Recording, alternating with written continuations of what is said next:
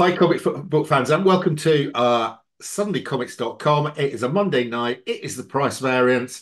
And as usual, we've got our favourite Canadian here. It's Alan, uh, comic collector geek, who's now selling merchandise. So if you, if you want a baseball cap with Alan on it, uh, head over to his merch store and you can buy that. What else have you got, Alan? Have you got have you got mugs?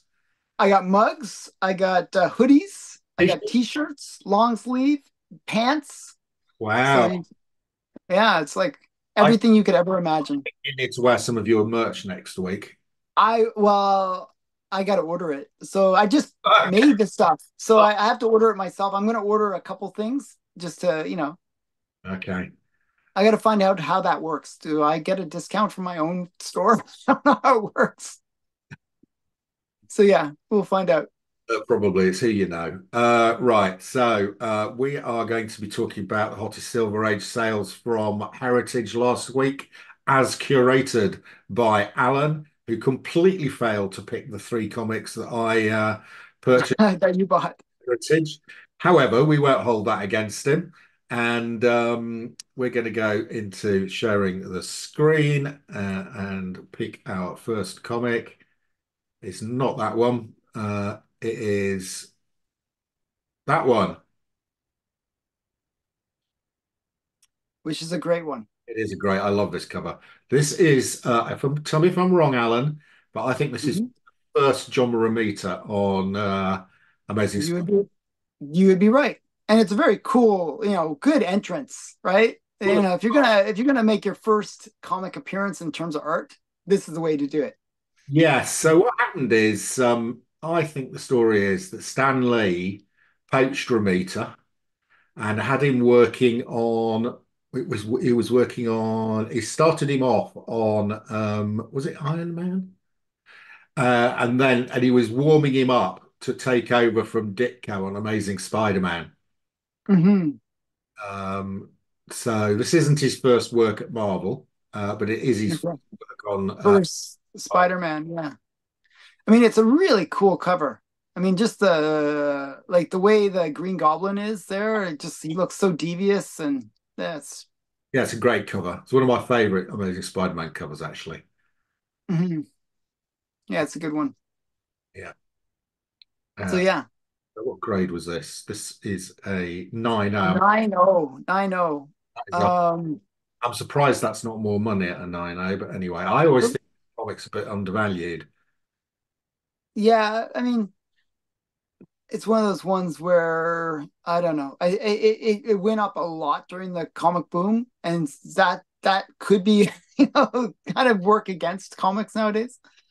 You right. know, when if let's have a look, see if the market. Oh dear, yeah, it's not great. See what I'm saying? Like you see how the there's that vertical spike during the comic boom, and then Oh goodness me! That's uh, three thousand two hundred down to one three. That's uh, lost sixty percent of its value. But if you look at the overall, it's actually above the yeah, pre-COVID price. It is still above pre-COVID, but it has it finished dropping, Alan? Maybe. Oh, I think it's actually it's kind of on the floor and actually coming up, even bouncing a little bit off that floor. Maybe, maybe there's some signs it's stabilized there. Yeah. So I, you know, I think that's a reasonable price for this book. I mean, it's a cool book. like, and this is high grade. Um, how many on the census? I should imagine there's a fair few. I was like asking that. Yeah, four thousand. Yeah, yeah. But so it has a really high census count. Um, but yeah, just a really great book. Yeah, agreed. Agreed. So, yeah. I can't see that dropping a lot more for a 9 0 for less than a thousand. Yeah. I can't see that dropping anymore. Right, next up. Uh oh, there's a nice one. We've got a DC. Um Brave and, and the is... issue 54. It's the first uh Teen Titans.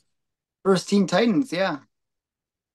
So um it's not the full team, I think. The, I think it's the next issue where they get like the the full team, right?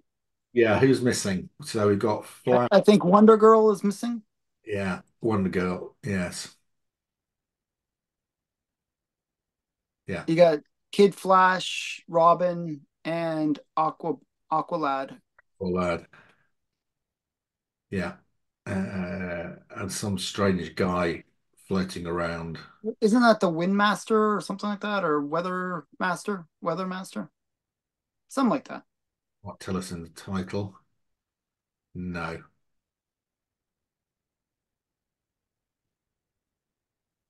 Yeah, okay. So how did this do? Let's have a look. I've got this ungraded. Um, this sold for three two four nine two. Yeah. yeah. So you know, seems like a reasonable price. I always, you know, feel like DC books are always undervalued. So um, this seems in that undervalued, right? Flat. Yeah, it had to be a spike way back when. Uh, Probably when the Titans show came out, right?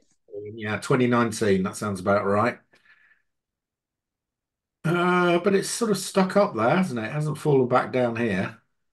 Yeah, I mean, you're not going to see the COVID spikes on these DC books as much, but um, yeah, it's still. I mean, it's still actually above whatever the trend line was, like back uh, that first spike. I think that first spike is the announcement of the Teen Titans show suspect you're right. And uh, we got 1,500 copies. So it's relatively relatively rare. Yeah. Yeah. And a nine two, that's a pretty high grade. I'm I'm not sure like how many nine twos there would be. I don't think there'll be a lot of them. Hang on, let's have a look. Uh, there's only uh, 37. Uh, 37. And then there's yeah, a few grades above it, like uh 31 nine fours and then 11 and then two. Nine eights, none of which have ever sold.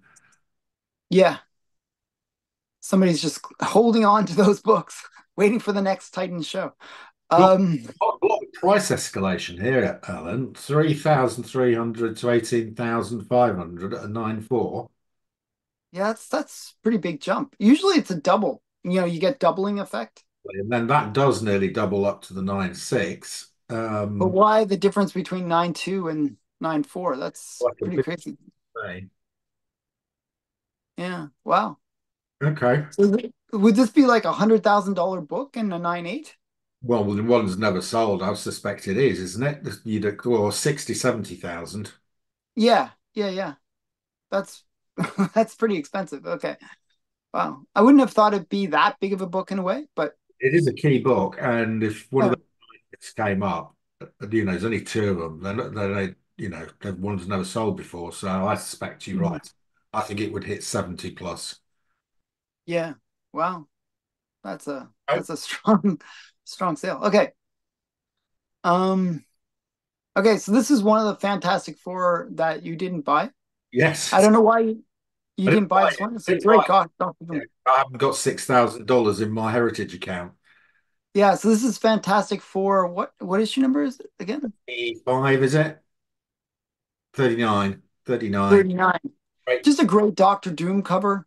It is. It's got Daredevil on it as well, which is nice. Yeah. Yeah, really so, great cover. The blind shall lead them. A blind man should lead them. So that's probably this is the first crossover with um uh Daredevil like into Fantastic Four, I would say. I don't know. That, that, no, probably not then. I'm just making things up. uh, but, nice though. Wally Wood. Yeah. Some just a really I think I just like the way Doctor Doom is there. Uh, you know. I like when they make the villains bad uh, big and bad like that, kind of like yeah. crushing the city and yeah. So that's I don't know. I think that's a really cool one. See how this did because that is a classic. Six thousand dollars. Six thousand dollars for nine six though. It's a, it's it's probably one of the highest graded copies, if not the highest. And it's up, Alan. Uh, we've got a record. We have hit a record. A record for a Marvel book is a big deal. it is. Uh, and it is a proper record. It's not up slightly. Um, last sale um, April 21. So that was in COVID. So during the COVID, that's actually so this is above the COVID potential bump. up over the COVID sale, 6,000. Wow. So that's great. And um how many uh like like I'd be curious if this is the highest graded copy. Well, There it, is a nine eight. There's there's nine eights. have a look. It's three nine eights, uh, but one hasn't sold for 10 years, nine, 10 years. Uh, Wow. so So this is sort of like effectively the highest grade available. the, um, yeah, exactly. There are only three of those nine eights. If that nine eight came up, it'd sell for a lot more than seven thousand dollars now. Yeah, it's probably like a twenty thousand dollar book. Yeah. Wow. So um wow, that is really cool. Um sale so you know that shows that there is some strength in the market. I mean that this book, you know, that we can get a Marvel sale. That's that's up.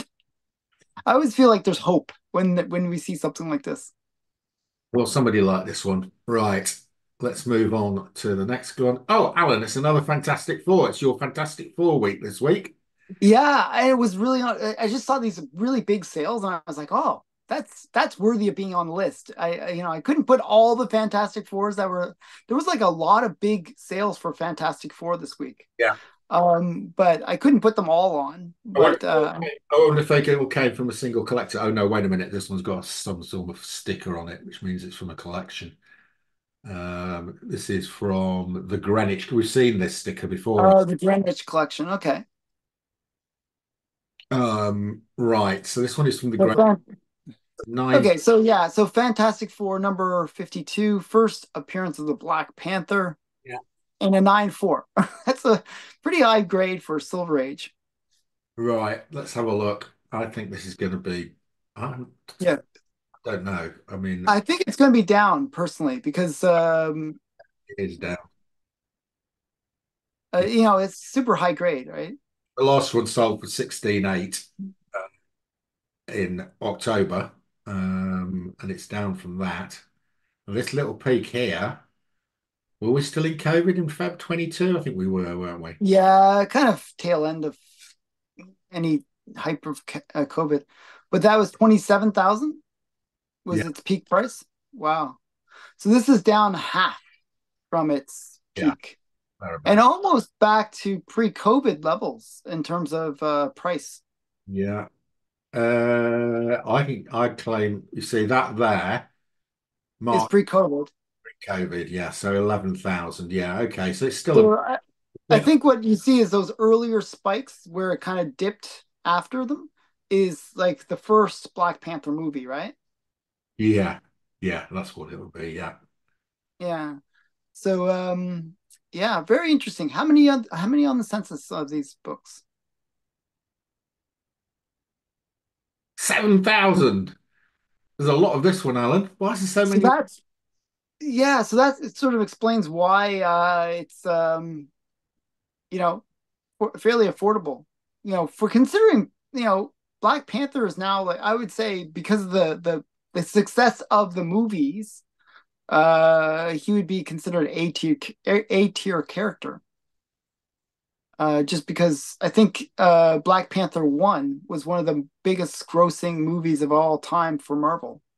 Yeah. But there were 7,400 of them, Alan. What was that Yeah, last looked at with Doom? That only had about 1,500.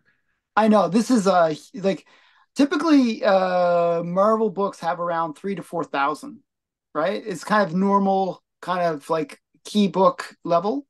I mean, this is like double that.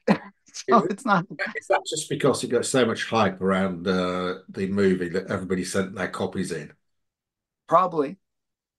Um, I mean, I think even low grade copies, because even entry level copies were going for quite a bit of money. So, you know, you could get it graded and pretty much, you know, get make some money off it. So Yeah. it's it is what it is. But it's a cool book. Yep. Yeah. Okay. Um, and that is it for this week, Alan. Is that it? So, I thought there was one more. One more. no, No? no. That was the last one. Oh, okay. Yeah, okay, that's right. 13. Yeah. So I didn't include Spider-Man this week. Uh, I was more interested in these Fantastic Four sales because it seemed like there was a bunch of cool Fantastic Fours. that you kind of had these like big sales. Uh, so I was kind of more gravitating towards those, and so Spider-Man, uh, Spider-Man number one and AF-15 didn't make the list this week, but I know Mark is really hoping. I, I and I don't want to disappoint him. Okay. We'll see what's going to happen next week.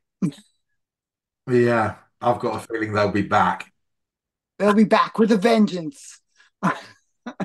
it's going to be all Spider-Man, all across. Okay. I, I, want to see some um, uh, some some merchandise on you, mate.